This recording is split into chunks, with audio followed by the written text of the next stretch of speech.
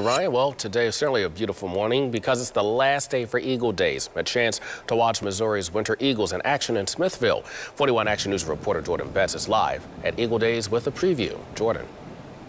Hey, good morning. I hear in Smithville, the dam that's right behind me. Eagles love it. You know, the fish that are coming right out of there, they get their breakfast, and you get to see that firsthand. And joining me is Alex Walker. You're with the Department of uh, Conservation. Now, this morning we were talking about that the Eagles really love this cold. And so, what will people get to see out here this morning as around 7 o'clock when the sun starts to rise?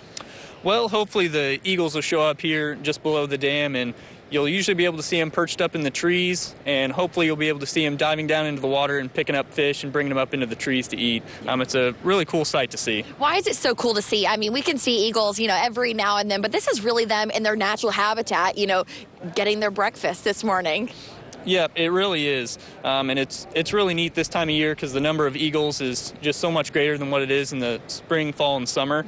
Um, so, I mean, yesterday we were seeing about a dozen eagles out here at a time, all diving into the water and perching up. So it's it's really cool to see. What do you hear from people as they're out here watching this all happen?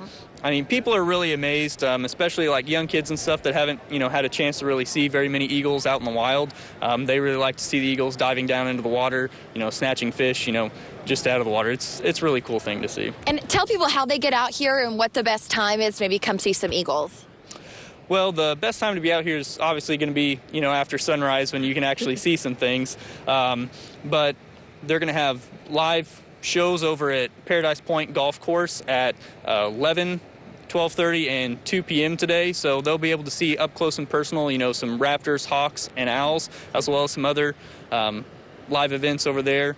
Um, but we'll be here set up below the spillway all day with spotting scopes for people to view the eagles. Awesome. Thank you so much for joining me this morning. I really appreciate it. We're going to wait till 7 o'clock hits. I'm hoping to see an eagle this morning. Hopefully, it's, you know, it's a little colder, so we're going to keep our fingers crossed. We'll let you know. Send it back to you.